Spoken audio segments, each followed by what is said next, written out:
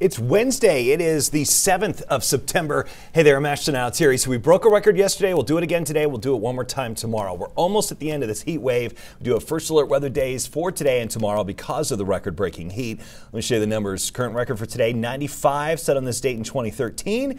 97's in the forecast. So we'll definitely break a record. And then tomorrow, an even bigger record because uh, that one's been on the books for a lot longer. It was September 8th, 1959. We hit 94. We should shatter that record by five, six degrees tomorrow. Usually when we break records, it's by a degree or two. Not five plus degrees, but we have 100 in the forecast tomorrow. And if we hit 100, it will also be the record for the latest 100 degree temperature ever recorded in Denver. That is currently uh, September 5th, 2020. That was Labor Day weekend that year. Remember that? And then it snowed right after that.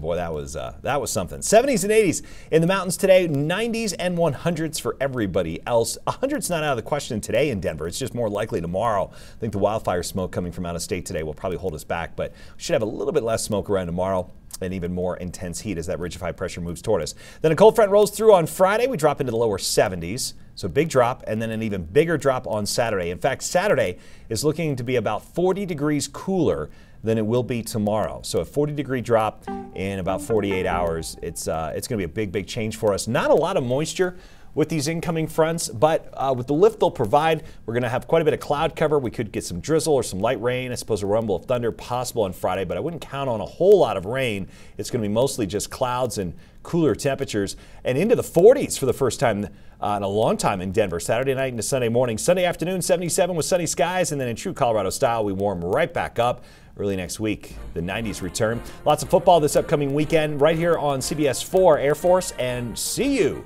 Uh, playing down in uh, the Springs of the Academy. 1:30 kickoff on Saturday, 62 degrees. Don't want to forget about the Rams. They're taking on Middle Tennessee State. Kickoff 58 in Fort Collins. Yes, 58. It's going to be so much different by Saturday. We got your latest weather every 10 minutes over on the stream, CBS News Colorado. And Lauren will be up tonight on CBS 4 News at 4, 5, 6, and 10. We'll see you then. Stay cool today.